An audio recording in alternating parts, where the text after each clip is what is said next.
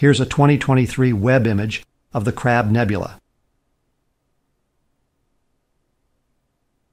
We're zooming into the pulsar at the center.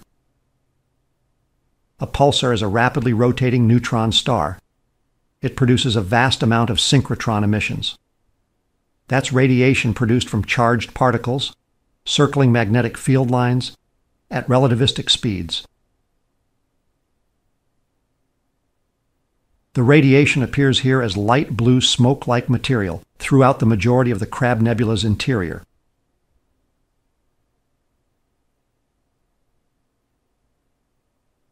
Toward the nebula's edges are cavernous filaments of dust and hot gas.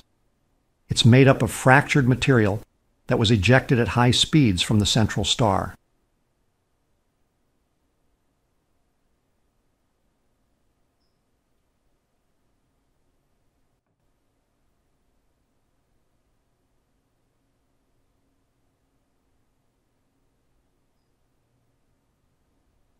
Note the areas where the synchrotron emission seems to be pinched.